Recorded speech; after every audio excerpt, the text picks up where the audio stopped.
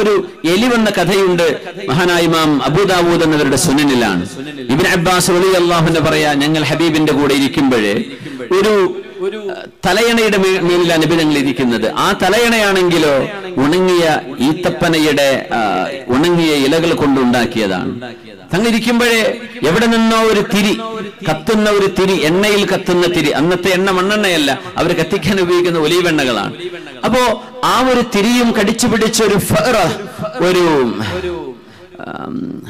ഒരു എലി വരികയും അള്ളാഹുവിന്റെ റസൂൽ ഇരിക്കുന്ന ആ ഒരു തലയണയുടെ ഭാഗത്ത് പുറത്തിരിക്കുകയാണ്.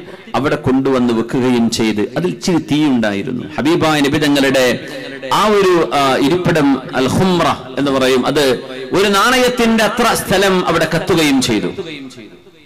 എല്ലാ ഇതുപോലെയുള്ള സംഭവങ്ങളും പിശാച്ചിന്റേതാണ് എന്ന് പറയാനൊക്കെ ഇല്ലെങ്കിലും പുണ്യ ഞങ്ങൾ ഒരു കാര്യം പറഞ്ഞു. ഇതാ നിമിച്ചും നിങ്ങൾ ഉറങ്ങുകയാണെങ്കിൽ വിളക്കുകൾ അണക്കേണമേ. നിങ്ങൾ ഉറങ്ങുകയാണെങ്കിൽ വിളക്കുകൾ അണക്കണമേ സ്വിച്ച് ഓഫ് ചെയ്തോളൂ. വിളക്കുകൾക്ക് മുമ്പ് അങ്ങനെ തന്നെ ലൈവ് ഫയർ ആയിരുന്നു. അതൊക്കെ ഊതിക്കെടുത്തിയിട്ടാണ് നമ്മൾ ഒരു പത്ത് നാൽപ്പത് കൊല്ലം മുമ്പ് മുപ്പത്തഞ്ച് കൊല്ലം മുമ്പ് മുപ്പത് കൊല്ലം മുമ്പൊക്കെ നമ്മുടെ വീടുകളിൽ അത്തരം വിളക്കുകൾ ഉണ്ടായിരുന്നു. ഇന്നതൊക്കെ പുരാവസ്ഥയിലേക്ക് മാറിയിട്ടുണ്ടായിരിക്കാം. നിങ്ങളുടെ വിളക്കുകൾ നിങ്ങൾ അണക്കേണമേ മലയാളികളെ പറ്റി അങ്ങനെ തമാശ പറയാറുണ്ടല്ലോ.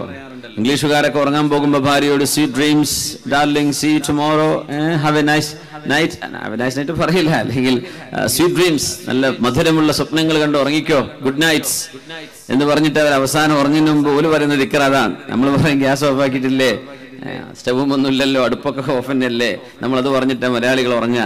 കുഴപ്പമൊന്നുമില്ല. അതൊരു നല്ല സേഫ്റ്റിയാണ് ആ ചോദ്യം. ഗ്യാസ് ഗ്യാസ് ഓഫ് ആക്കിയിട്ടില്ലേ? എന്ന് ചോദിക്കുന്നതേ. അത് നല്ല സേഫ്റ്റിയാണ്.